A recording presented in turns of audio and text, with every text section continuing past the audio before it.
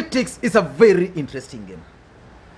On Tuesday last week, President Uhuru Mwe Kenyatta was supposed to hold a meeting with Raila Amolo Odinga, Kalonzo Musyoka, Charity Ngilu, Musalia Mudavadi, and Moses Wetangula at State House in Nairobi.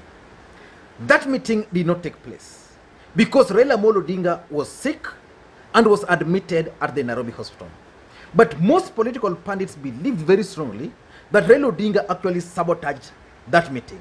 He sabotaged that meeting because of the previous meeting or the last meeting which took place at State House. During that last meeting, Gideon Moi was allowed to read the statement in which President Uhuru Kenyatta, Raila Odinga, and the other party leaders thanked the county's assemblies for passing the Building Bridges Initiative bill. And from the body language, Raila Odinga was not happy during that meeting. And the pundits also further be- believed that Raila Odinga didn't want the other guys to take credit for the Building Bridges Initiative process, a process he's been carrying its burden for a very long time.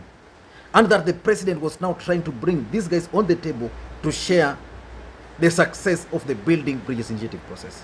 So a meeting was convened last week and it aborted because Raila Odinga was unwell. And yesterday, President Uhuru Kenyatta chaired another meeting, but this time around it was an online meeting, and it was attended by the same people. So in this video today, I want us to look at the inside story about this particular meeting, which was held via Zoom online. But before we do that, if you're watching this video for the first time, please take a second or two and click the subscribe button. And by the way, it is raining outside here, but I hope you will be able to hear whatever I'm trying to say. Now let us get back to business, and I want to go straight to an update over the meeting which took place yesterday by State House in Nairobi. The State House is saying consultative meeting of political party leaders, Tuesday 16th. This morning, His Excellency the President chaired a virtual consultative meeting of political party leaders featuring the leadership of Jubilee Party, ODM, ANC, KANU, Ford Kenya, NARC, and Wiper Democratic Movement. The meeting was convened as a follow up to the one held on 25th. That's the one I was talking about, the last meeting I was talking about. 25th of uh, February 2021 to review the surge of COVID infections across our nation. The meeting considered the ev- ev- evolution of COVID disease within our borders. And now listen, because it's important also to listen to the resolutions of the meeting, because I strongly believe that whatever was discussed in this particular meeting might not have been necessarily this. So they, it's saying that number one, noted with concern that COVID infections were increasing at an alarming rate. Noted that hospital beds, especially ICU beds, were filling up in both public and private hospitals. Urged Kenyans to remain on high alert to exercise extreme caution and beware of COVID reality and to do their utmost to observe government protocols. Number four, supported the ongoing national vaccination program, which is being undertaken in accordance with the guidelines of WHO and the Ministry of Health. And lastly, number five, argued all urged all political players to take the lead in observation of the COVID protocol, of which I totally agree. COVID is real, and by the way, I lost an uncle, Commissioner Mark Uko Oyo. The burial is on Saturday. So COVID is real. And they are concluding, in light of the above, urged all their political affiliates and supporters, especially in Machakos, to find a peaceful, amicable, and uniting way forward during the upcoming by election. So, politically speaking, the last statement is the only political statement that the president urged the rest of the political leaders to support the Wiper candidate. But why do you think this meeting the president convened? Why do you think it was convened? And why do you think Raila Odinga tried to sabotage the last meeting? Or why do you think Raila Odinga was not very happy with the previous meeting? For those who missed that video, I think I did a comprehensive video here and I'm going to share the link. Why Raila Odinga was not very happy during that particular meeting. In my considered opinion, and based on my own observation, I strongly believe that President Uhuru Mugai Kenyatta is trying to achieve several political objectives with this group. The first objective which the president wants to do is to create regional leaders. Let's face it, President Uhuru Kenyatta is keen on creating regional leaders. In Western Kenya, the president is creating Musalia Mudavadi and is also creating Moses Wetangula. In Ukambani, the president is creating, already Kalonzo Musyoka is there, but he's strengthening Kalonzo Musyoka by bringing on board Charity Ngilu. Charity Ngilu today is supporting Kalonzo Musyoka.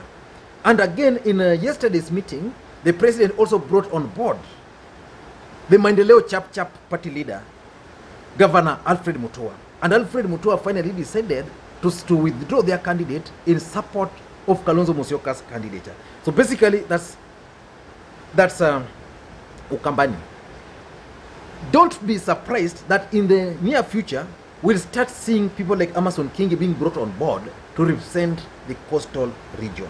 Raila Odinga is already on this other side.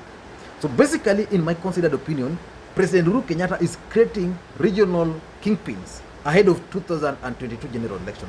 So that ultimately, when he will decide to pursue his political interest or to support his candidate for 2022, something is going to happen. The president might decide to even force Raila Amolo Odinga to support one of these guys.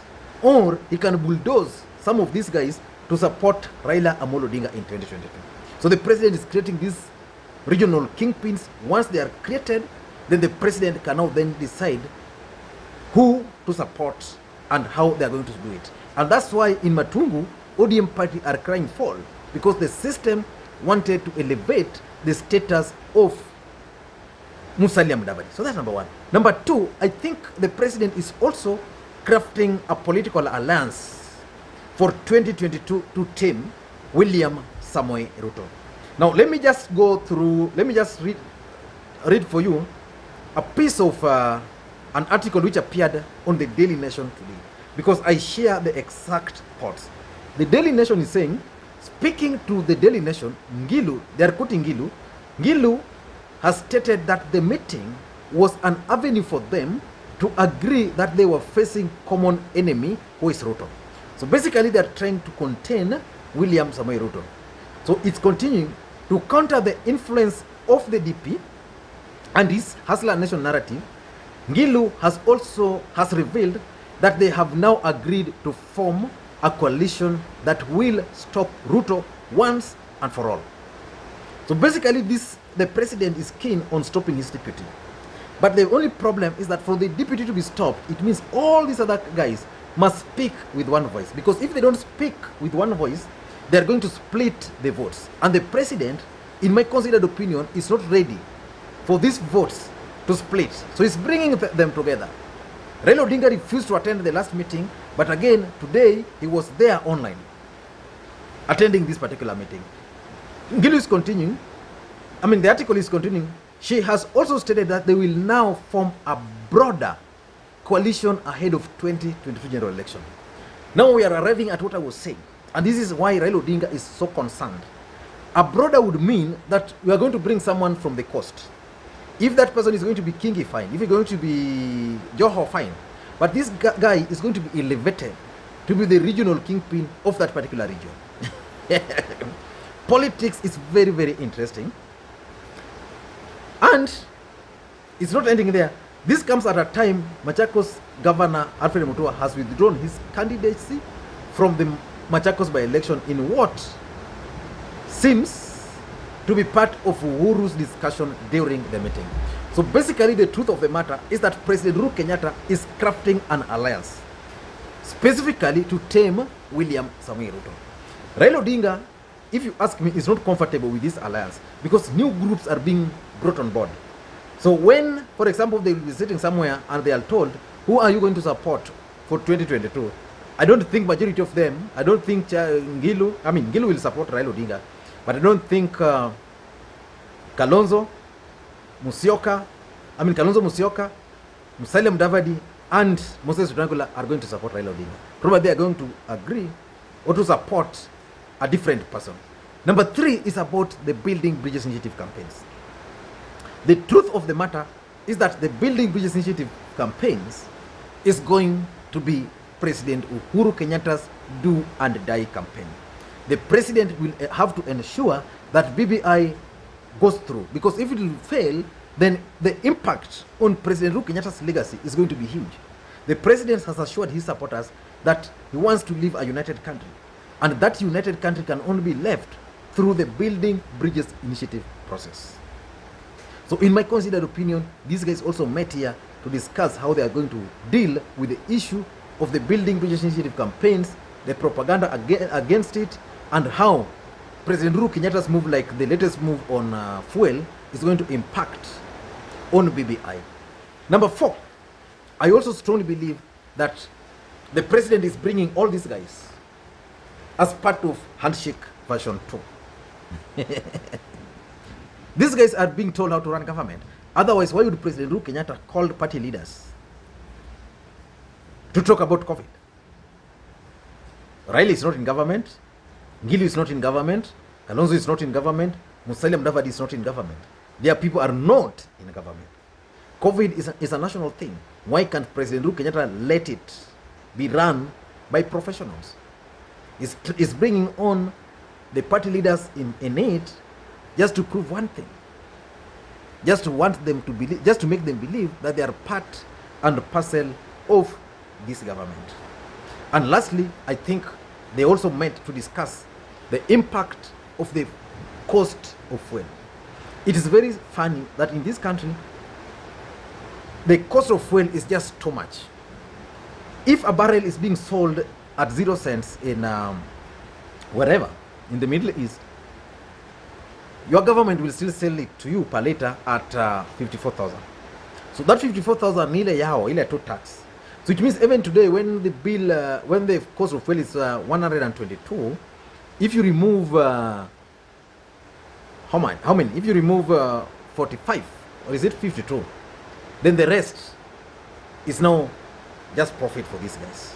So probably because of the impact, how people have taken the issue of uh, fuel, they met and discussed how best they can approach it. Because if they don't approach it so well, I can assure you, it's going to be so bad for the president and the team. I don't know what you think, but in my considered opinion, President Uhuru Kenyatta met with these guys just to discuss politics. COVID, in my considered opinion, is, is just a mask the government is giving us outside there. I don't know what you think. And again, if you're watching this video for the first time, please take a second or two, click subscribe button so that next time you produce a video like this, YouTube will automatically notify you. And to the subscribers, I want to continue thanking you guys for your continued support. And for those who are meeting me for the first time, I am Lee Makwiny. What we do on this channel is simple. We analyze politics in the simplest way, where which you cannot find in any other place. So the best thing you can do is just to click the subscribe button now. Just click subscribe button now so that next time you produce a video like this, YouTube will automatically notify you that you've produced a video. Thank you guys and please may you have a good day.